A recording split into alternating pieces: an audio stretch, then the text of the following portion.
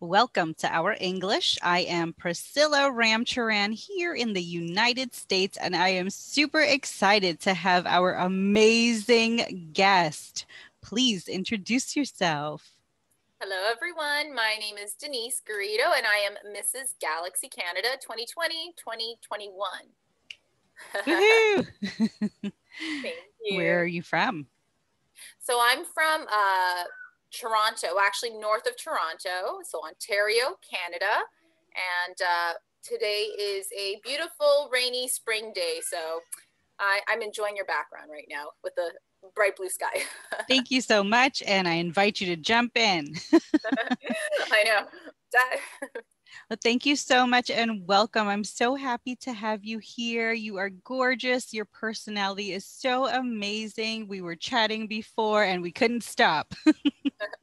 I know, but like we were saying, fellow fire signs. That's right. we're, we're so, absolutely. Well, tell me, what is your inspiration to do your work as a pageant lady? So, my inspiration in terms of uh, participating in pageantry, it's kind of like inspiration um, for participating in any type of extracurricular. It's an opportunity to work on yourself, to get out of a comfort zone prior to doing pageantry. And also, just like a side note, I'm also a third degree black belt in Taekwondo. And uh, I got into that because I was actually eight years old when I started, and I found out that my parents were going to put my brother. And I'm like, wait a second, I'm a girl. I need it even more than he does. That's so, right. Exactly. And at first they were like, oh, no, no, you're doing piano. You're fine. You've got other extracurriculars. And I'm like, no, no. And so eventually I convinced them, right? You know, those hard headed little girl being like, please, please. So um, I got to do Taekwondo and even doing a martial art, like I was very quiet. I was, I was an introvert. Um, and I still have my introvert moments, right? Where I just kind of want to be like in my little, own little bubble. And um, at one point, you like in martial arts, you have to start teaching other students. This is like part of the requirements before you're even allowed to test for a black stripe or black belt. Ooh. And so it was so scary for me because even though, and get this, I was going to be teaching three to six year olds and i was so scared. I was just like oh my goodness like like are they going to laugh at me? Are they going to like me?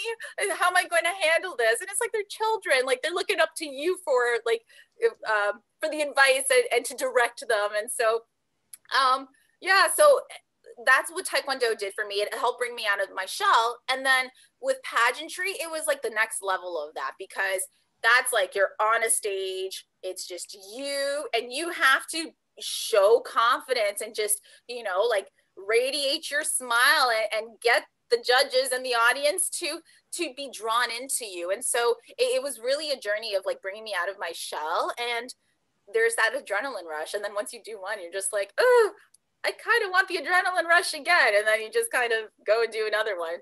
We call it the pageant bug. You, you catch it after the first one, and then you're like, ooh, I want to try another one again. It, it's definitely an, an, an, adrenaline rush. So inspiration for pageantry is um, is just the the self development that you get out of it, but also the people you meet along the way. Another cool side note: one of my first roommates in some of the earlier pageants I did uh-huh. um, is now a MD, so a doctor, a PhD, and works does like NASA training.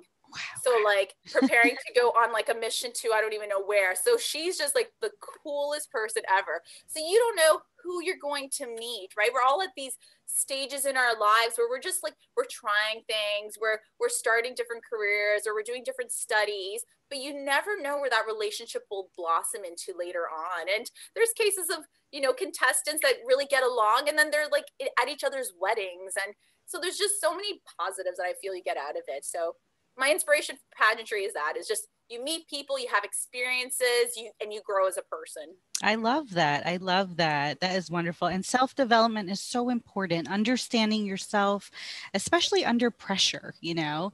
Yeah. you have a goal here. Your goal is to like you said impress the judges and you know show your your uh, strengths as well. So that's really really wonderful. And then taking care of yourself you know bringing your best self forward that's amazing Awesome. And then what is your motivation?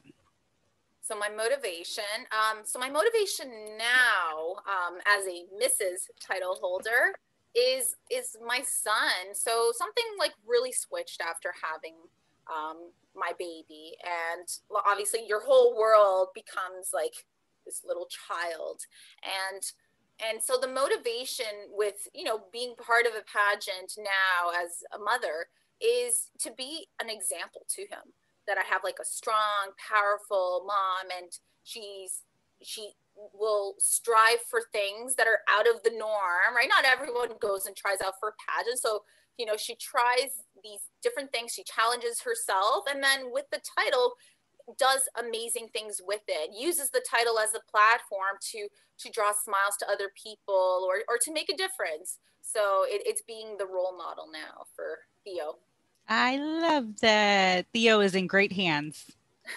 Absolutely. Yes, you are so right. You know, motherhood really brings out that mama lion and lioness yes. in you. And, you know, you want to strive to be a great role model and to show them that no matter what you do, uh, it doesn't have to be exactly like me, but you can still follow your passions, follow your dreams, and be great at it.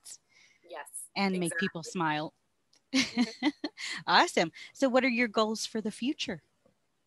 So, my goals for the future, um, aside from like being very family focused, and you know, if that means like maybe you know another child, um, growing the family, um, and just kind of doing whatever I can to continue to continue um, self developing myself, and not just like self developing and in terms of um, like career, but uh, but educational self development. I feel like well, actually, perfect example. So one of the things I've been doing with my title is um, I've been um, doing these like science classes for mm-hmm. for kids online like it's part of like these different uh, organizations one is called like uh, wonderful exchange kids and so every month i write an article for for this online magazine for kids and uh, and I'm like the science queen because I have a science background, so I always do like nice. a science article. And so one of the articles that I did was about um, uh, vision. Oh, and the importance of light to to kind of uh, get your circadian rhythm in tune, right? Our, our natural body clock, and you know, like so for vision, there's things in your eyes called rods and cones, and that's what you learn about in school but there's another pigment in eyes that was discovered after I graduated called like um, these uh, ganglion cells that are sensitive to light and and and when light hits them it causes melatonin. You know melatonin is that sleep hormone that makes you feel sleepy. Anyhow this was all discovered after the fact. So it's just being this lifelong learner and knowing that you don't always know everything that um, you know the moment you think you know everything that's it. Like you're just you're done because you're no longer developing. If you're not growing there's like a quote if you're not growing you're dying. You have to constantly be working on improving yourself. And and again that's also part of a, a, the example that i want to show theo is that don't think you always know it all because there's always more information always coming out. Science has never settled on anything. Have an open mind. Um, yeah. So that, that those are my plans for the future is just constant development and, being open minded. Actually, yeah, my ultimate goal is to always have an open mind to just always be open to to learning new things that what i thought was true could be wrong and be okay with that. Absolutely. Absolutely. You are a plethora of information I may have to pick your science brain for my students. oh yeah, no problem. I love awesome. That. Really wonderful answer. And you're absolutely right. You know, we always say, oh, if I had known then what I know now, you know, things would be so different. But you weren't this person then. Exactly. You didn't know this for a reason. So the journey is the learning process, the open minded process, the accepting process. You know, there's so many uh, people out there that they need to be heard they want to be listened to they want to be cared for um, but in uh, the same sense you want to teach them how to do that for themselves and be independent self caregivers uh, independent learners so it's really beautiful Thank Great you. job. And what is your final message for our viewers? my final message is um, so actually you know what there's a, a, quote i used like several years ago that you know in every storm cloud there is a silver lining and so right now with everything that's going on in the world um, you know like life is shut down for so many people you know stuck at home we can't really see see our friends like we used to with every storm cloud there is a silver lining. So what can we do with this time? What can we do? What are other ways that we could still be connecting with each other?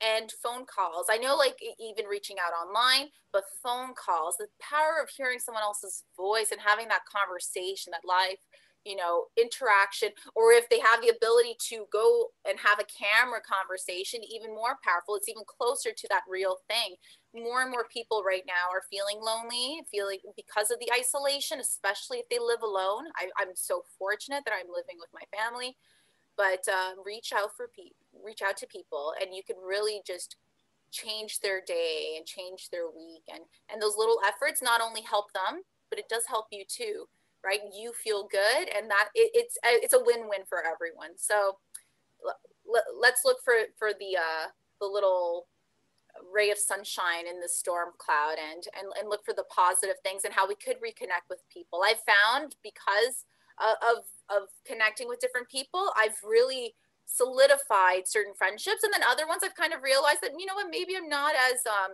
um, as close to as what I thought to, and and that's good. It, it just helps me realize that I, I've become more aware of what's important in a friendship for me, and so absolutely. being that as that opportunity. If it comes, let it. If it goes, let it. Right? Exactly. And exactly. just let the energies be. That's what I've learned. yep. Yep. Amazing. This was wonderful. Thank you so much for being here. I'm going to gift you a complimentary PDF of my book, Mindset to Self Love, and do share. Thank um, you. Yes, and let me know how you enjoy it. Thank you so much. Appreciate that. I'm looking forward to reading it. For sure. So, thank you so much again. It was lovely to have you and your beautiful self. Good luck with your future endeavors. Thank you. Thank You're you. welcome. Say bye. Bye. Take care.